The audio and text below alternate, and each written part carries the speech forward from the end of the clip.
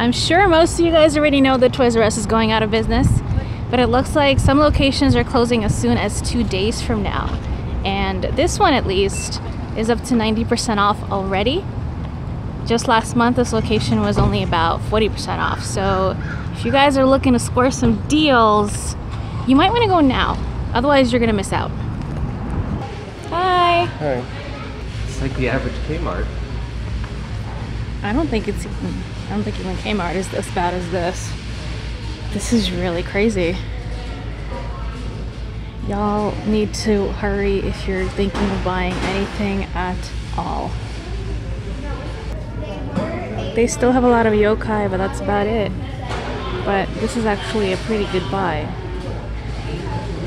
These are pretty popular right now, not just in Japan. They're not just selling toys, guys. They're also selling everything that's not nailed down. That includes fixtures, furnitures, equipment. You can buy a cart. Everything. If it's not nailed down, and maybe even if it is nailed down, you can buy it. Oh my goodness. My childhood. It's gone. That's so sad. They're selling the signs that they have in their employee rooms. Like, for instance, these are inspirational signs that you put like in the break room and stuff, but they're even selling that. And like their printers and everything. Oh, Geoffrey. We're gonna miss you, buddy.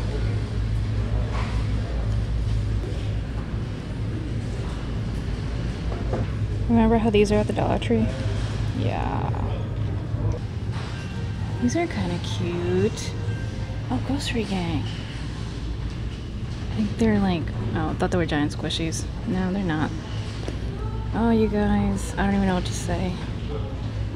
Hurry up and get down here and say goodbye to your childhood. It's really sad that our kids are never gonna know Toys R Us. Sorry.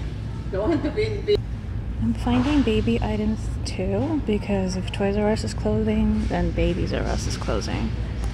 And they have some baby stuff here. If you're looking for that, I guess check them out for that too. Alright, y'all. It's the end of an era.